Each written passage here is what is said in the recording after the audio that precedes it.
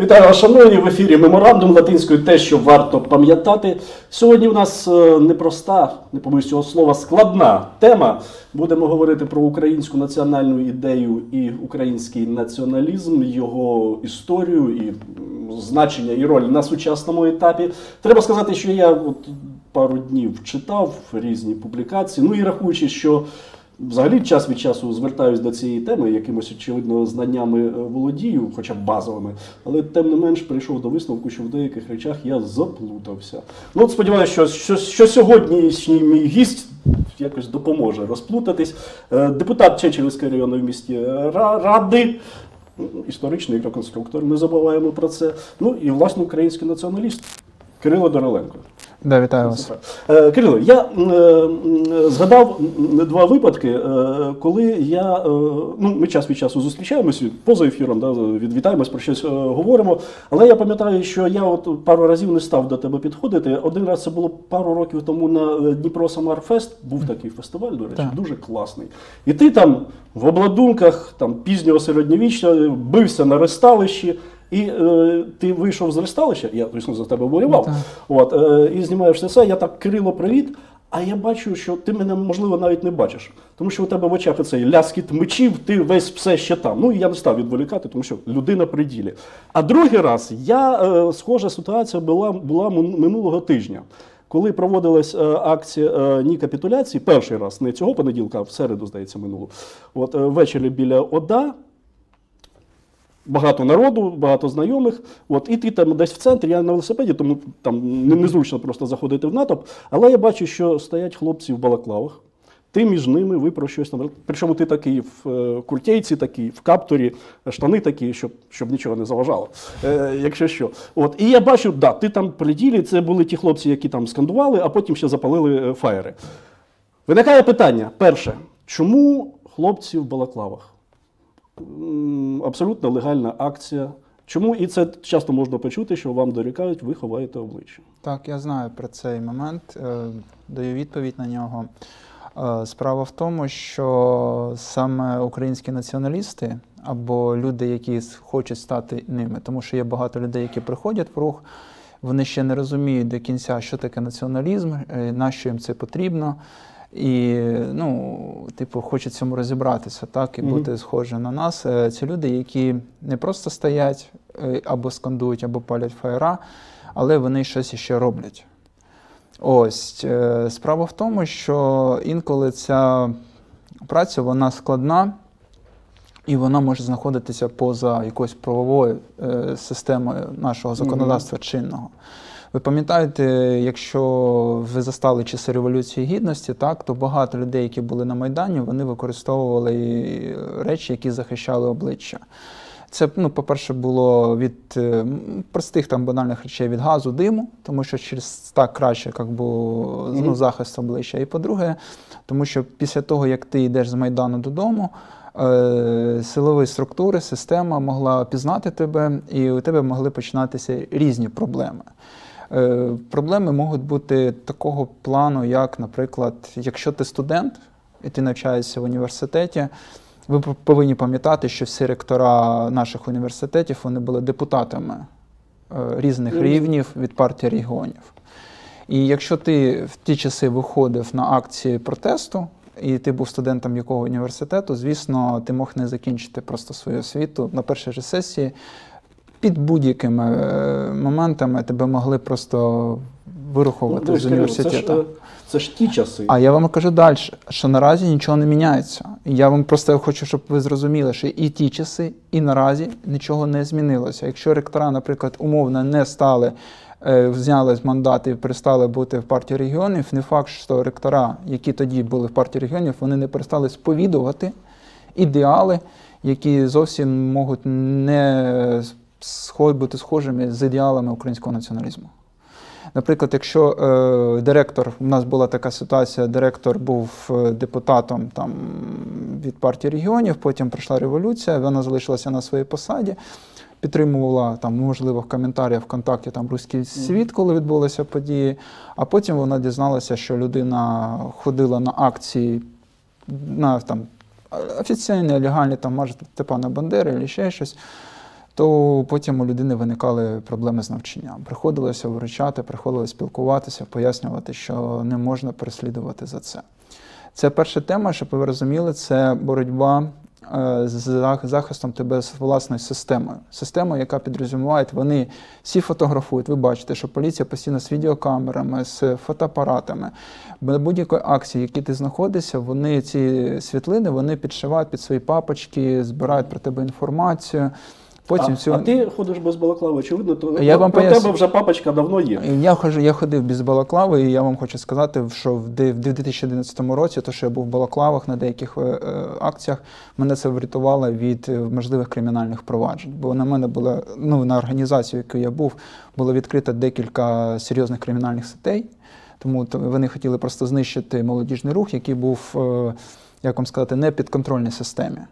Тому, коли е, мені слідчий показував світлини, а вони збирали їх не тільки на під час акції в соціальних мережах, і у них були люди, які були інфільтровані в організацію, які робили світлини як би під відом дружби, там і ще чогось, а потім вони передавали в поліцію, в СБУ передавали ці світлини, і вони використовувалися потім для репресій. Ось це було, ну як це врятувало, тому що вони не могли довести е, в суді або ще десь, що я маю відношення до цієї організації. Тобто, ну так, типу, ну, балаклаві, але пізнати експертиза ніяк не може довести твою причетність до тих чи інших подій. Е, По-перше, це от така тема, що другий захист це, наприклад, ти приймаєш якусь радикальну акцію участь, е, балаклава врятує тебе від е, потім на суді. Коли там прокурор там робить якісь там на тебе наклепи, або ще щось, щоб типу доказати, що ти там неправильно щось зробив по їхньому. Ну, е, дивись, ти сказав, бані. що е, часто е, бувають дії е, не в правовому полі. Так. Ну давай ми до, до цього, що, що, щоб я не, не Я, да, я вам поясню, ми потім з вами поговоримо про це. Я вам хотів би ще сказати ще два чинника, які ви Мгм. просто це важливо сказати про Балаклаву. Ви повинні розуміти, що у націоналістів є природні вороги, які вже їм там, можливо, сотні, дві сотні років. Це ліві організації. Це марксистські організації е, різних е, назв, різних напрямків, які, наприклад, е, більш потужні там в Європі, в Америці, і менш потужні там на території України. Ну, тре- треба нагадати, що марксизм або комунізм, він поняття національність, він взагалі не Да, вони нівелюють там головне і класовість. Є, є вороги, які, наприклад, ти, коли там одягаєш балаклаву, йдеш на марш Степана Бандери, ти якби присвідчуєш, що ти маєш відношення до такого, такого то типу. Ну, суспільства і ідеологічності якоїсь. Да. А потім ти вертаєшся вечором додому, і ці світлини можуть бути е, використані ворогами для опізнання тебе, і на тебе можуть напасти. І поліція тебе там не захистить. І я це пояснював поліції, чому ми носимо балаклави. Говорю, да, це легальна акція, да, ну, ні капітуляції, типу, все хорошо, добре, без питань. От е, вчора, наприклад, там виключили в медіахабі світло. Ну, легальна акція. Підтримали, отримали, ви виробили світло. Питання, так? А де я буду розуміти, впевнений в тому, що завтра люди, які навчаються на, е, в університетах, працюють на роботах або мають власний бізнес, у них не будуть проблеми з так же самим там, умовним світлом. І немає ніде ніяких гарантій. І я про це знаю. І це просто вже як би, є розуміння в боротьбі, воно це ну, так, е, з покоління із одвічно йде, з покоління в покоління. Це сотні років оцих цих протистоянь, де тебе кажуть, якщо ти йдеш на акцію, ти повинен виконати, вимкнути телефон, ти повинен надягнути балакладу і одіть перчатки на руки. Це навіщо? Е, Це відбитки пальців. Е, Ти повинен завжди це бути. І, наприклад, коли ти йдеш на якусь публічну акцію, у людей це повинно бути на автоматизмі. Люди повинні знати, що своя власна безпека це першочергово. І третій ворог це криміналітет, який може бути. е, Ви теж розумієте, що є така боротьба з наркотиками в нашому місті, і націоналісти беруть на себе виклик в першу чергу. Вони не є там працівниками поліції або працівниками якихось там спецслужб. Да? і в них немає там умовних навіть якогось самозахисту, типу короткоствольної зброї, яка у нас заборонена, так? І коли ти там замальовуєш цю рекламу, ти наносиш там їм шкоду економічну, дуже потужно, тобто ти не даєш їм цієї заразі роз, роз, розлазитися. То звісно, якщо тебе десь там сфотографують або на відеокамери побачать, то звісно може бути проблеми з криміналом також. Тому ви повинні нас всіх зрозуміти, що ми не, не на приколі, ми не ходимо там по випендрюватися або ще щось.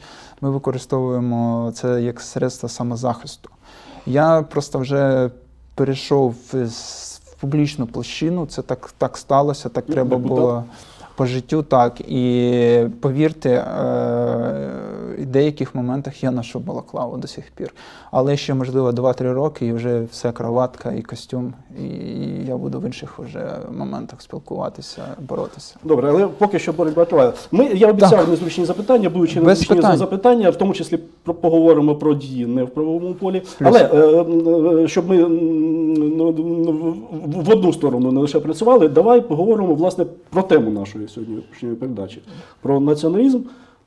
От говорять, в Україні немає національної ідеї. Да? У націоналістів є своя національна ідея.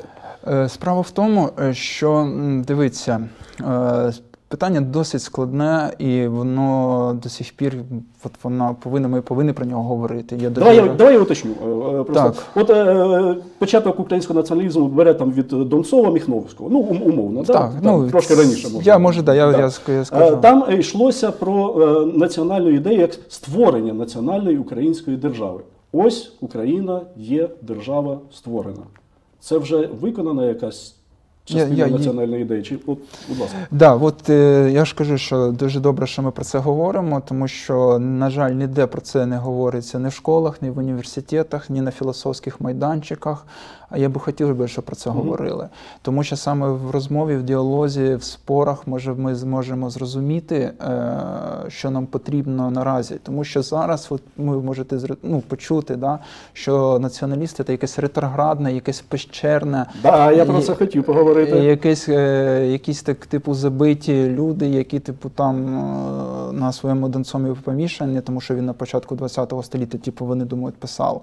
Хоча його твори вони на протягом великого періоду з Ну, 20-х років. Це да. в 73-му, здається. Так, да, він писав постійно, але вони там знайомі, можуть навіть не знайомі з його працями. Вони про це десь чули і, типу, більше нічого і не розвивалося.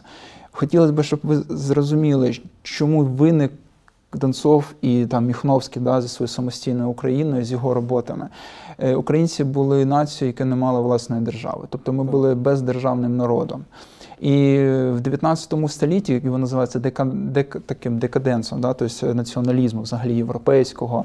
е, Відбулася така подія, як весна народів 1848 року, коли націоналісти е, почали національні держави з'являтися. Націоналісти почали створювати республіки, республіканські ну, різні рухи. Гарібальді. Правильно, правильно, рухи почали з'являтися. Ось і е, саме в цьому, е, в цьому русі як би зарождалося розуміння ідеї тому, що українців їх там мільйони, але вони чомусь е, повинні служити якомусь царю, який буде визначати, як їм помирати, як їм жити, якою мовою говорити, яку літературу їм читати. Або не читати, тому що Або, не, або так, або не читати, тобто уявіть собі народ, який повністю був поневолений, знаходився реально під гнітом імперських націй, їх так називали на той час. І тому з'явилися перші українські е, про- прорізки, типу там Тарас Григорій Шевченко, який писав вірші, але всі забувають. А чо- а що було раніше? Що ж взяв так, опа, і з'явився. Була козацька старшина, яка е, подивилася і сказала, та нас вроді кинули, ребята. Нам обіцяли одне, коли ми йшли в унію політичну. Через е, 100 років все перетворилося в тому, що ми втратили навіть Запорізьку Сі- Січ, вона була знищена.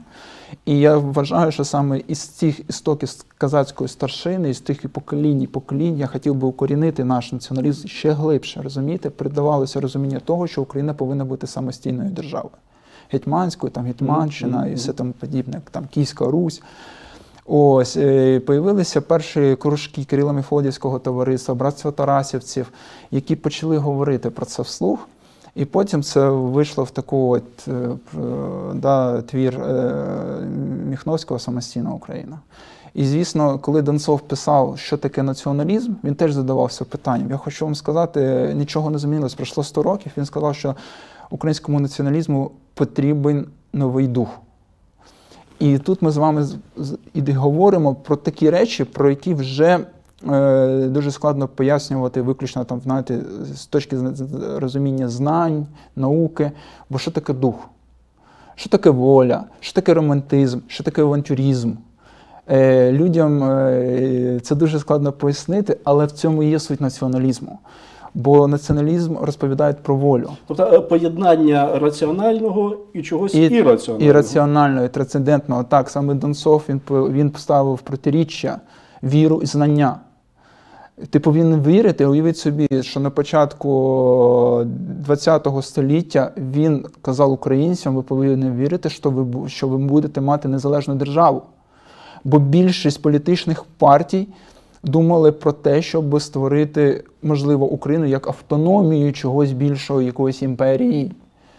А він казав: ні, без романтизму, без е, авантюризму, без, можливо, якоїсь долі фанатизму. Але фанатизм він сприймається не такий хворий, як більшість людей це сприймають, як в те, що можна повірити в щось, чого ще не існує. Якщо ти в це будеш вірити, ти це отримаєш.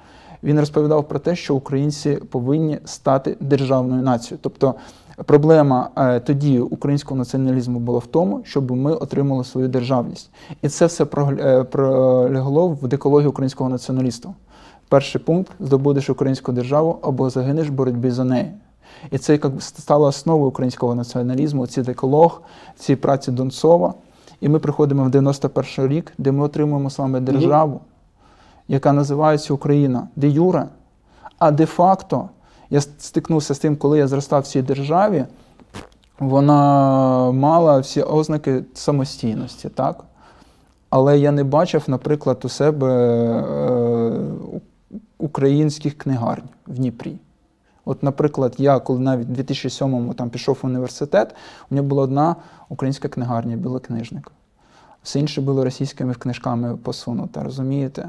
Ну, в 90-х е, так книгарні були. Я саме суто українських книгарень не було, але Так. був магазин Кобзар. е, Ну, починаючи від, від будинку книги до Кобзаря Букініста, кілька книгарень було. е, Будинок науковий. Да, ну, але, да, але от, от, от як книгарня є, я зараз присутня, да, от вона в тому моменті, як вона є в Дніпрі.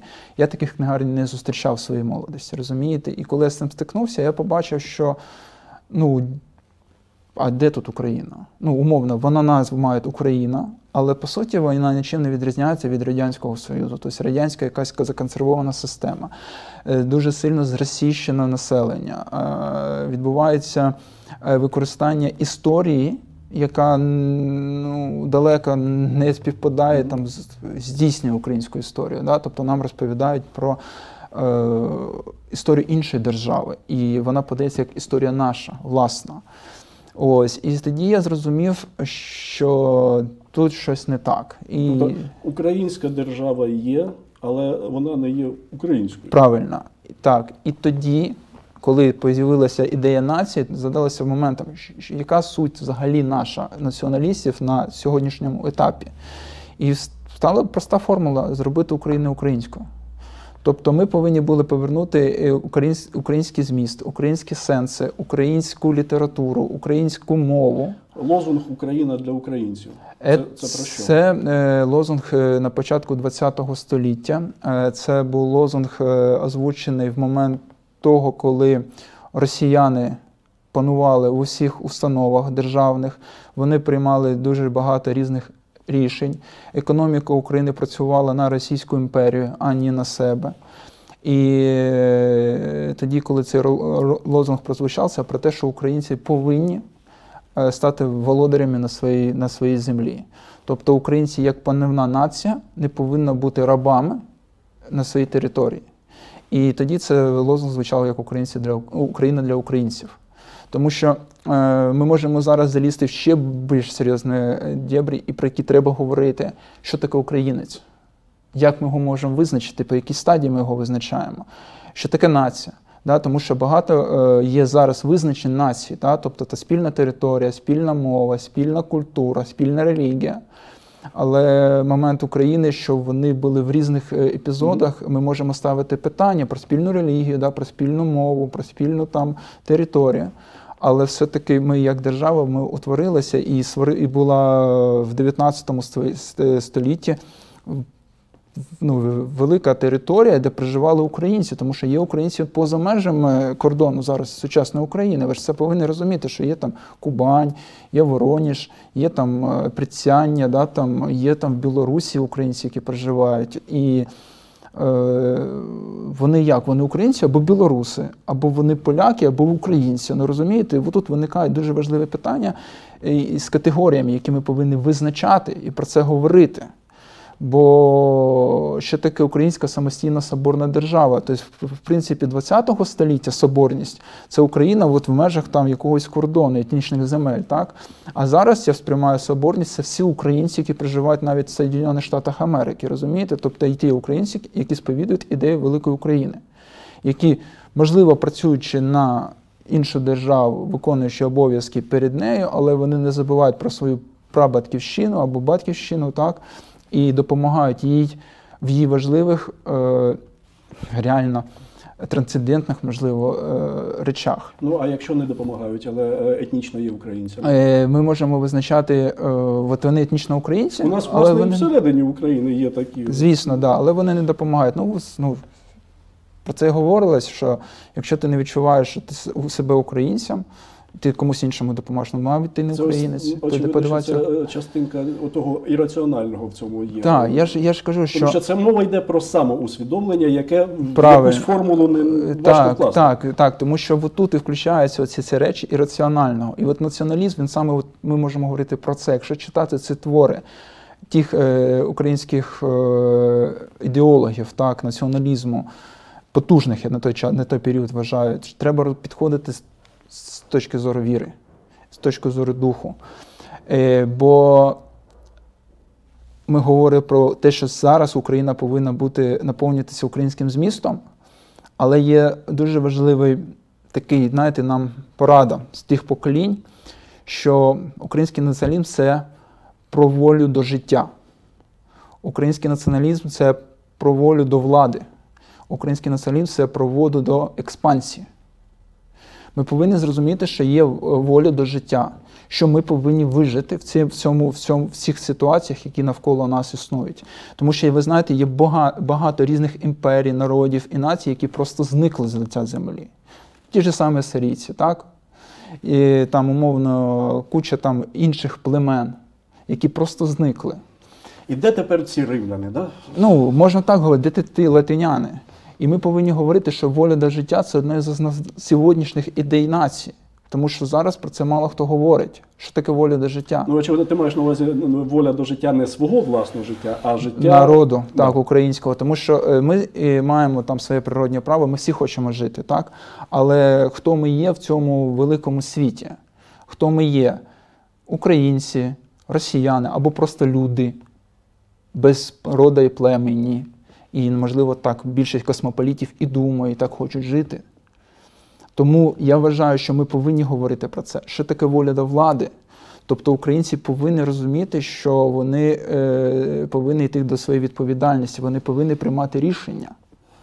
Бо це теж дуже, важлива річ. Е, бо люди не розуміють, що таке, можливо, прийняти дуже важливу якусь е, серйозну системну роботу з, з, ну, з викликом, да, щоб всьому твоєму народу, всій твоїй нації було добре. Тут е, є питання. Е, Дивись. До речі, я ми там якусь кількість років вже не пам'ятаю, спілкуємося. Спочатку Так. ми на ви спілкувалися, потім я перейшов на ти, ти як, якось не перейшов, я ні, нічого проти не Все, маю. все добре. Е, Дивись. Той воля до прагнення. Ну, спочатку, щоб е, нація відбулася в рамках держави, цю державу потрібно створити. Так. Те, що нам не вдалося. Ну, були якісь там казацька держава часів Богдана Хмельницького або Та УНР, да, я розумію, яка так. на своєму початку взагалі себе бачила там, Я- я- я- автономію. так. А європейські нації встигли створити свої держави. Ну, найяскравіший приклад, очевидно, це поляки. Да? От вони, да. Поляки, чехи, Да. мадяри і голландці. Я до того, що а чи просто ми не пропустили оцей свій історичний потяг? Ну, не встигли ми в нього скочити там в 19-му або слава на, на Богу, початку що ми два- встигли в два- нього, 20-го століття. І тепер ці категорії вже є застарілими, і це знову ж те, е, що часто закидають український Так, націоналізм, що ви там от залишились там, от на, на, на, то- на тому етапі. Так, я розумію, нам закидають піщерність, тому що дивиться нації, які не встигли всти- ну, типу, умовно запригнути цей потяг. Ви можете подивитися, зараз Курдістан це переживає. Угу. Подивитися це на нарід, який досить потужний, він поділений між чотирма країнами на сході. Українці змогли вже в той процес прийня... в цьому процесі прийняти участь. Ми почали розуміти, що ми маємо якусь окремість від росіян. І у нас з'явилися українські партії, з'явилися там українські визвольні рухи, і ми прожили дуже складну історію. І момент Власне, того, що- армія нарешті з'явилася от так, така так, і е, ви, я от зараз хочу пояснити ту ситуацію, що коли ми були бездержавним народом і ми не мали своїх провідників, в націоналізмі є така одна з головних моментів це провідництво. Та? Е, Ми зійшли, зайшли в 20 в кінець 20 століття на 21 століття без своїх візіонерів, без своїх серйозних ідеологів. Тому ми отримали з вами незалежність, а еліта українська вона була вибита або знаходилася в еміграції в такому приничному стані. Ви розумієте, пам'ятаєте, да, там ті люди, що могли що сказати, вони опинялися в землі. Ну, Левко Лук'яненко. Ро, ну так, ну, я ж кажу, що тюрми, ви розумієте, замість там 25 років писати про націоналізм 70-х, 80-х років, який там був дуже потужний був в Італії, во Франції, да, там, е, наші люди сиділи в тюрмах. І уявіть собі, в 90-х роках ми входимо в начебто ми отримаємо з вами державу, а у нас, крім комуністичної ідеології, лівої ідеології нічого Мгм. немає.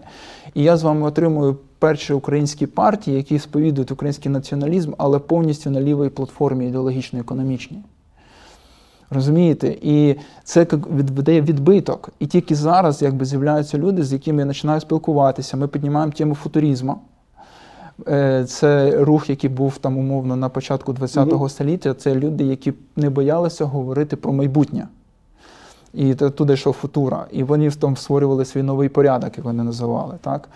Зараз ми говоримо про авангард, про те, що націоналісти повинні е, передивитися і осучаснити український націоналізм. Ми повинні говорити про те, е, що зараз важливо для людей, але орієнтуюся на ті е, спадкоємність, бо без спадкоємності ми.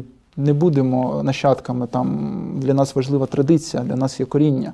Якщо ми обрізаємо традицію, коріння і прибираємо спадкоємність, то це можливо якась нова філософія, і вона не буде там схожа на український націоналізм.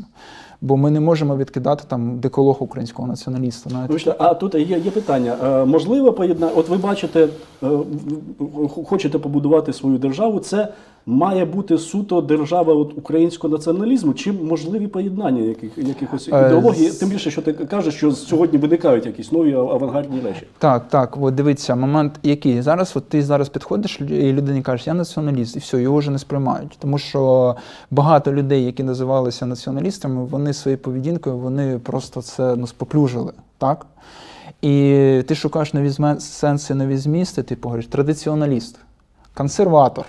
Людям, о, люди нові слова, нові сенси. Вони ще в цій, в цій державі, в Україні, да, вони ще не отримали тої негативного е, в той фарби, яку дають, по-перше, не просто там вчинки цих людей, а пропаганда, яка йшла там зі Сходу, з Європи. Ми повинні розуміти, що Європа не підтримує націоналістичні рухи там в державах. Ми повинні розуміти, що Росія сприймає український націоналізм, націоналізм зовсім по-іншому, тому що він проти їхніх імперських Ну, амбіцій. Ми повинні розуміти, що внутрі є люди, які е, сповідують або радянську ідею створення, ну, продовження України, або російську ідею продовження України, або марксистську ідею продовження України, розумієте? І в їхніх там вони мають доступ до ЗМІ, вони мають доступ до книжок, вони мають доступ до університетів, вони мають доступ до науки. І це все подається, знаєте, дуже в негативному ключі. І нас, як нас би, ну, нас перетворюють на якихось приматів примітивних, розумієте? І я це розумію, в чому проблема, тому Тоді що ви не займаєтесь власним піаром. е, ми намагаємося це зробити, але момент інший, що наразі нам не вистачає е, філософів. Я вам говорю дійсно, нам не вистачає людей, які би хотіли присвятити такому научному націоналізму свій час. Чому? Тому що е, це треба читати, Треба розуміти, що зараз 21 століття, що зараз відбувається глобалізація світу, відбувається крах мультикультуралізму. Зараз знову піднімаються ідеї національних держав, типу в розумінні Брексіта. Так? Е, Ми бачимо, що є народи, які до сих пір великі, але не мають своєї там державності, наприклад, той же самий Курдістан. Так? І ми розуміємо, що зараз е, Кремль не спить, і він пропонує світу свою теорію нової імперії. І е, що може запропонувати Україна? Згадайте, будь ласка, 2014 рік, Майдан, слава Україні, героям слава! Це суто націоналістичне гасло. Саме е, ці люди були в боях, приймали участь на, е, на Грушевського і потім на Інститутській. І коли на нас напав ворог, до чого ми повернулися всі, до чого ми всі е, ну, пішли? Це до цього ірраціонального, до того червоно-чорного прапору, до наших е, істоків от тої української повстанської армії, розумієте? І Збройні Сили України почали приглядати, ми пішли до УНР. Да? Тобто, щоб є було державне утворення Збройних сил, тобто ми замість зірки поставили тризуб собі вже на нашивку. Розумієте, І ми почали шукати себе, що може нас захистити від зовнішнього ворога. І дійсно для України став прихистком це український націоналізм. Ну, от в часи е, війни націоналізм це дуже Е, Ви розумієте, річ. наскільки це виявилося м'язами нашого народу? Це є раціональність. Раціональність того, що тут з'явився дух, воля до боротьби, воля до того, що ти слава Україні, героям слава, ти сидишся там е, в якомусь там англійському камуфляжі, який ти купив на ринку е, з охотничою зброєю, і ти їдеш воювати проти ворога, твого одвічного ворога. Ось і тут е, українці говорять для того, щоб захистити волю до життя, тобто захистити свою націю, ти повинен сповідувати такі-то такі-то цінності. Ти повинен задуматися про те, е, якою мовою ти говориш. Тому що яка різниця між Харковом і умовно там 70 кілометрів там Брест, ну коротше там Білгородом, Білгород. да? між Харковом і Білгородом. Яка різниця? Ось, і для того, щоб себе захистити, ти повинен розуміти, яка різниця між Португалією і Іспанією. Ну, скажіть, будь ласка, да? португальська мова.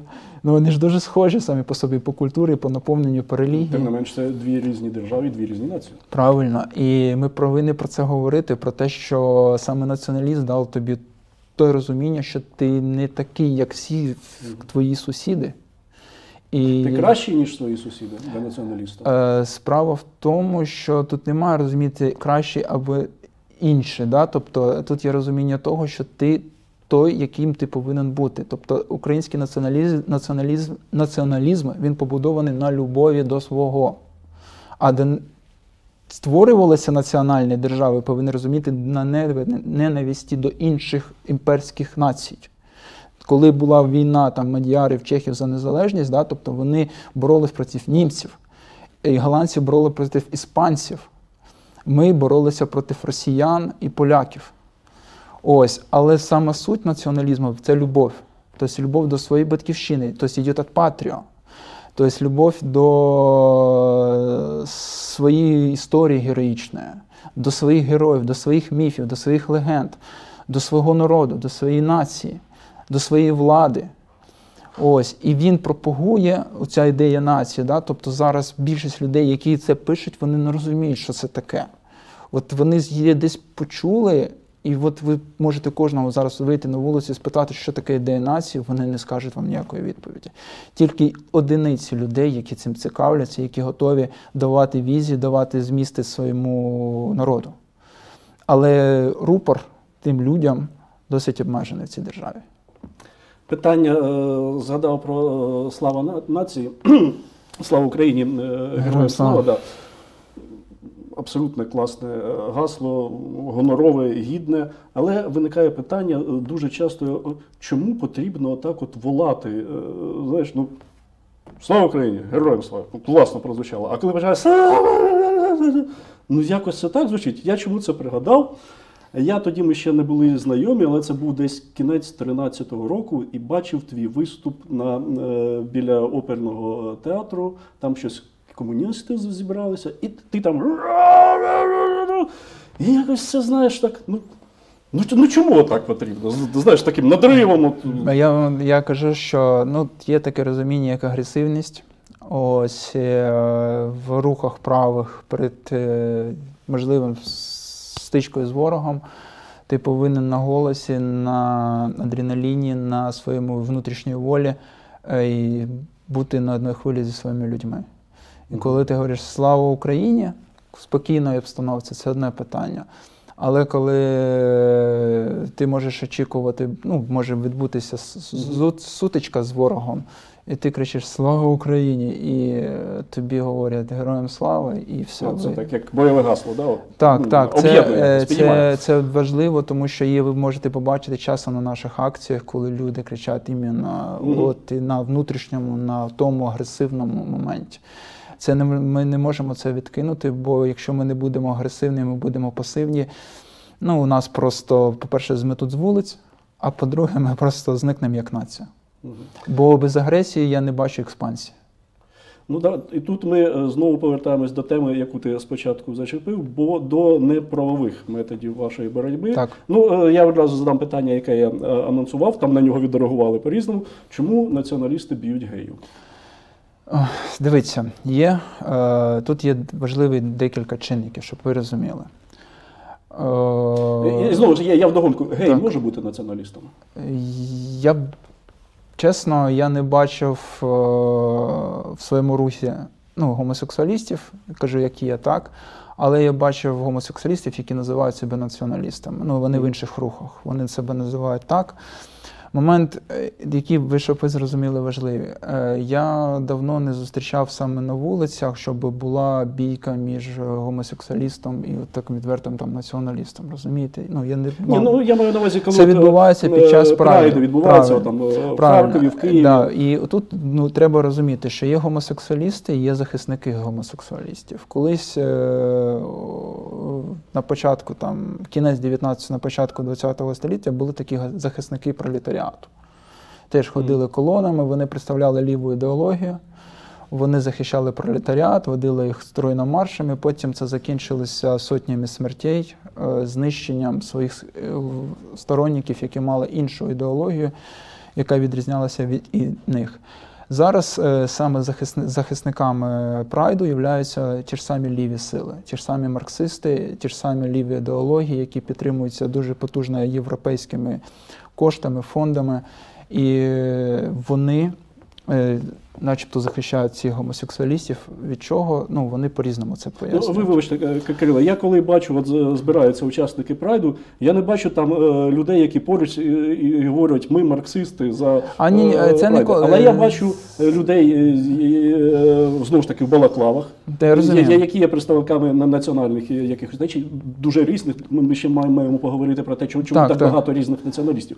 От чому вони не, не об'єднані. Але я я до того, що от агресію цю проявляють саме націоналісти. І Агресію з цього боку, я бачу. Е, Тепер слухайте, слухайте, в чому в чому тут вже і момент дуже цікавий, що ви бачите це тут, тут таку, таку вуличну су- супротив, так? Але, наприклад, е- один із важливих моментів, перше, це боротьба, яка вже йде там сотні років, ліві з правими. Щоб ви просто зорієнтувалися, це ідеологічна боротьба. Друга е, боротьба, ви розумієте, що більшість націоналістів вони сповідують християнство. І бо є християнство, яке може, може мати такий фундаментальний характер. Християнство засуджує мужеложество і засуджує гомосексуальні всі ці речі. Е, люди, які сповідують це, вони виходять і захищають якби, свої цінності от таким чином. Третій чинник, який дуже важливий, і я вважаю, його треба теж розглядати. Е, коли вони виходять на свої марші, вони кажуть, що вони борються за свої права. Є три види права, які ви повинні пам'ятати: природнє право, яке дано там Богом під час творіння. Позитивне право це право, яке створене, ну, типу, природнє це право на життя. Да? Е, Позитивне право, яке створене там виключно історичним е, утворенням твого королівства державу. Це, наприклад, право бути обраним і обиратися мною. Так? І є моральні права. Ось. І тут дуже важливий момент, що люди, які йдуть на прайди, вони е, хочуть моральне право перевести в позитивне право. І коли е, вони, наприклад, не будуть з вами зараз там виходити, битися там один на один, Вони це проведуть якусь законодавчу ініціативу. І з морального права це приведе в позитивне право. І потім мені, як, наприклад, я буду пастором евангелістом, буду мати якусь свою фірму.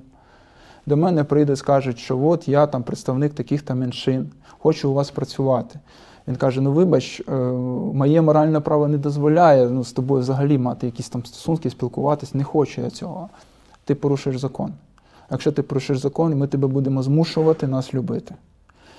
І е, момент інший, вони воюють не так, не на вулиці, вони воюють в парламентах, в законодавстві, в позитивному праві. І через позитивне право вони будуть тиснути на природнє право людей, тобто на якісь там їхні релігійні моменти, так, і тиснути на моральне право через, ну, через закон. І тут виникає момент, що не можна злоупотреб- злоупотребляти правами ну, і одних заради інших. І через це відбуваються сутички на вулицях саме захисниками гомосексуалістів. Ну тут мені ж є що І- я, я, я б навіть посперечався, Да, але без я, питань. Я, я, я, ні, я не просто не, не буду цього роб- робити, тому що у нас є формат дебатів. Було б цікаво там е, поговорити. От, е, а по-третє, у нас не так багато часу залишається. Я ще, ще хотів до інших питань. Але от те, що ви геїв віднесли до марксистів, от Е, я кажу, це- що дивіться, люди, які сповідують ці цінності, вони відкидають традицію сім'ю родину в більшості своїх випадків. В більшості своїх випадків. Є там, вони хочуть, е, вони вони називають. хочуть створювати сім'ї. е, вони йдуть проти, ну вони створюють сім'ю в яким-то там своїм іншим чином, да? тобто не тим традиційним, яким воно було прописано там умовно спокін віку. Ще можна зачекати, зачепляти оцю природну річ. Їхня якась воля там до смерті, да? і відбувається боротьба волі, з волі до смерті, з волі до життя. І це відбувається це протистояння на вулиці. Добре, е, поки що з цією Плюс, темою, да, е, так. але е, Ну, я за- вам- запрошую я, якось продовжити з, з, з кимось із опонентів. Було б ці- цікаво. І, і до, до речі, там закидали, я якщо не помиляюсь, пан Андрій Куліш, що ну, мовляв, що ви там будете говорити? Так. Це, це, це важливі теми, тому що вони в сьогоднішньому Ну, і маю надію, ви мене почули, я да, і, і якщо говорити про якісь нові методи і підходи, тут, може бути цікаво. Добре, з цим поки що на, на сьогодні, у всякому разі. Е, Питання про те, чому е, націоналісти е, на сьогодні не об'єднались. Ну, власне, вони об'єднались на, цих парламентських виборах останніх. Ну там умовно це можна назвати об'єднанням, тому що це далеко не, не, весь такий, скажімо, правий спектр. Да? Не Але весь. да. а, і там і, і, і, і навіть це одно результат, ну, в парламент не прийшли. Дивись, що відбулося. От коли почалось відновлення і прагнення, як ти кажеш, е, прагнення до життя, да? вже народ ну, там, з часів перебудови з'являється рух.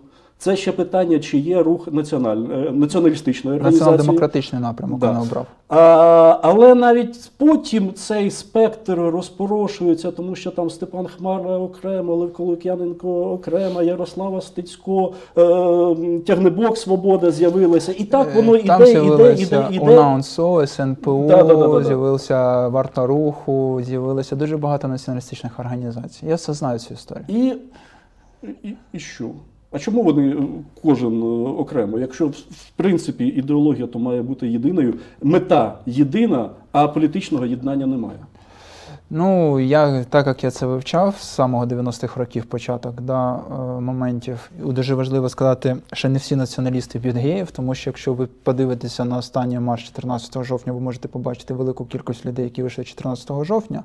І якби вони прийшли на Київ Прайд, я думаю, жодна поліція не змогла б його захистити. Тому більше 14 жовтня це Е, День захисника України, створення УПА недавно в Києві, ту кількість людей, які ви побачили. І якщо б ви побачили, наприклад, якщо б вся ця кількість людей зібралася в червні в Києві і прийшла на Київ Прайд, то ну, він би не відбувся просто фізично. І момент того, що боротьбу з ними приймають ультраправі, чисто Мгм. крило націоналізму. Тому що не можна закидати, що всі націоналісти б'ють геїв, там нападають, там ще ні, не всі. Тому що є ультраправе крило, яке Мгм. готове цим займатися. Є помірковані люди, які ну, хочуть з ними там по-іншому там сперечаються там на дебатах, я не знаю, там в законодавчій якоїсь сфері. Мгм. Ну, є люди, які це можуть толерують повністю. Ну, ви ж самі розумієте, це Тобто, великий в, спектр. в законному полі, скажімо так. Ну так. Да. І ви повинні розуміти, що і так само в 90-х роках були різні лідери, які очолювали ці рухи, які сповідували український націоналізм. Але шляхи, е, якими вони хотіли рухатися, у кожного були вони бачили свій шлях. Мгм. Тобто хтось там казав, що треба йти громадським там рухом, хтось говорив, треба створювати політичну партію, рухатися в політику. Тобто це різниця була не, я так, не, в ідеології, а в політичних Е, е, В чисто, тактиках. так, так, в чистих політичних тактиках, і як всі люди живі і здорові, у кожного бувають конфлікти, у кожного є своє бачення, як привести українських націоналістів до слави. Той же саме згадайте конфлікт Бандери Мельника, да, коли коновальців вбили. Це не перша про нас історія, це у нас є у нас цим проблеми, і ми намагаємося постійно до неї вертатися і закривати ці питання. І для цього хоча потрібно знати цю історію. Так, ну всі знаєте, многі ж протягом, коли, коли підписували маніфест, це останній 2000, якщо не помиляюсь, 17 році, коли націоналісти об'єднувалися, всі націоналістичні організації від маленької до великої об'єдналися, підписали маніфест. Що типу ми більше не будемо воювати один з одним, ми будемо разом рухатися в політичному політичній площині, тому що ми роз'єднані, нас постійно роз'єднують. Ви повинні розуміти, що в той період 90-х років е, були досить посу- е, потужні системні речі, служби безпеки України. Сьогодні ситуація змінилась. У нас хвилинка буквально залишилась. Хвилинка, я вам поясню, чому націоналісти програли на цих виборах. Все дуже просто, е, тому що, по-перше, поразка націоналістів відбулася в 2014 році, коли вони не змогли отримати свою фракцію далі в Верховну Раду. Це була виключно політична помилка тої сили, яка балотувалася. Чисто політичний прорахунок, це їхня вина, і вони повинні це визнати. По-другий момент, що українських націоналістів, патріотів стало так багато, і вони так сильно подрібнилися, що коли прийшов час об'єднуватися, вони довгий час не могли це зробити. Навіть у нас були проблеми видвинути одного кандидата в президенти єдиного. Дуже багато було е, чварок і спілкування один з одним. І по-третє, дуже важливо, ви подивіться, якби націоналісти умовно нікуди не зникли, вони проголосували. Прийшли дуже патріотичні типу сили, які грали на наших гаслах. Мгм. Якщо ви згадаєте, націоналісти завжди були в опозиції на вулиці. Але коли е, провладна партія взяла гасло українських націоналістів армія, мова, віра. Тобто вона перетягнула з е, лекторату українських націоналістів, патріотів, які голосували за ці сили, перетягнула їх на себе. Вони набрали свої, стали парламентською партією. Е, просто провладна партія почала грати на консервативних ідеях. Вони забрали це у хліб у націоналістів. А націоналісти не змогли перебудуватися дуже швидко, тому що це було дуже мало часу на це. І та ж сама партія, наприклад, якщо ви візьмете в відсотках, е, там та ж сама радикальна партія Ляшка, які грали на цьому, ПЕС Солідарність грала на цьому, голос грав на цьому, да, умовно. І з е, об'єднані націоналісти це десь 20%. Добре, я е, Кириле, вдячний за цю розмову. Без Е, питань. е, Мені дуже подобаються розмови, з яких мо- можна перевести тему до наступної розмови. Я тебе запросив буквально наступного тижня. Давай зробимо дві серії на, на, Без на, питань. на цю тему, тому що є, є, є, є ще багато і, ще багато своїх агресивних питань. Я, я, я, я не задав. Плюс, От. хорошо. Плюс ідея дебатів, мені здається, теж непогана. Я вдячний. І знаєш, ще що добре, що ну ми ж збираємось не для того, щоб на, на когось навішувати якісь е, Ярлики, так, і е, когось ставити перед якимось фактом чи до висновком. Оце правильно, а все інше неправильно. Гарна розмова це коли починаєш думати ще після неї. І є над чим думати. Ти подарував кілька таких сенсів. Я за- намагаюся за, це робити, За, так. за це щиро вдячний. Е, Вдячний, е, шановні вам, е, що були з нами. Е, Тему обов'язково продовжимо. Побачимось. Образ ведучого від магазину чоловічого одягу від Іван.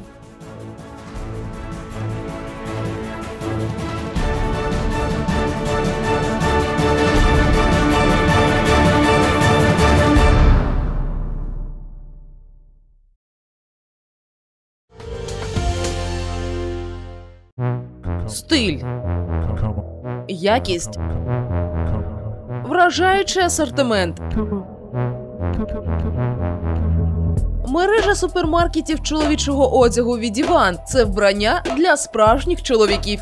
Від casual до класики, від спорт-шику до елегантності, приємні ціни та програми лояльності для кожного. Обирайте свій стиль. Обирайте від Іван.